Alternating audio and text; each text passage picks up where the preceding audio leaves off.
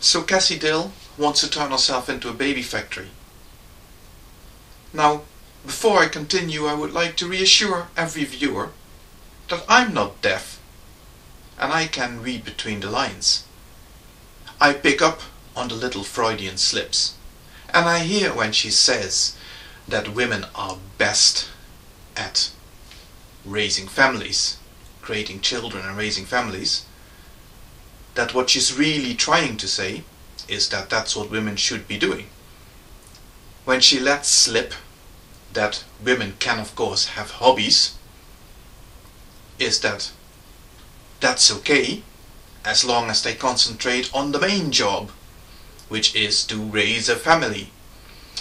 I'm hearing it all, but she doesn't quite say it, does she?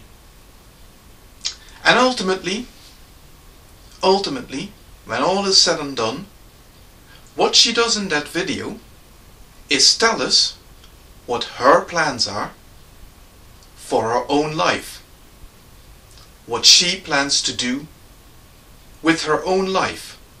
And regardless of what we think of that, regardless of whether we agree with it or disagree with it,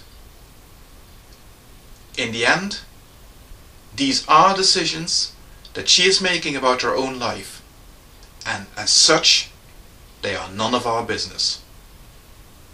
And some of us would do right to remember that.